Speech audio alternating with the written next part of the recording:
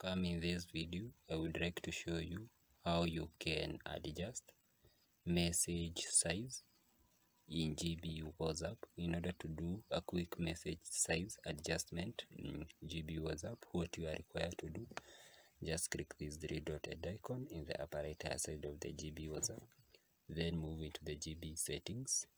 You need to come to where we have the chat screen option after coming to here we have the chat screen option. Come to here we have bubble and tick settings.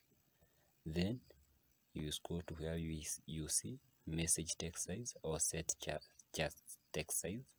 This adjustment bar can help you adjust the size of the text which you want. If you want bigger text or smaller text based on your preference choice using this upper tab here this screen disabling the conversation screen in your GB WhatsApp, you can do a quick adjustment, do any adjustment, create larger text or smaller text based on what you prefer to use. I usually prefer smaller text since my visualization is also high.